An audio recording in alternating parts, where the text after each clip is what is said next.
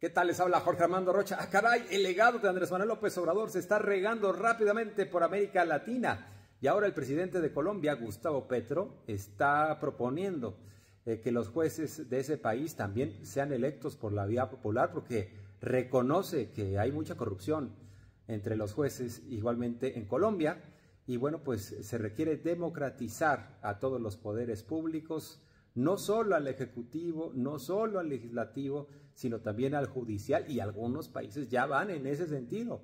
Sin duda, uno de los legados de Andrés Manuel López Obrador, un hombre con una gran visión, un estadista que siempre ha dicho que es muy importante, es eh, muy trascendente que la gente se involucre en las decisiones públicas y participe también en lo que está en relación a los cambios en el Poder Judicial y que el Poder Judicial de cualquier país no obedezca a una oligarquía, sino rinda cuentas ante la ciudadanía, que son cosas muy diferentes.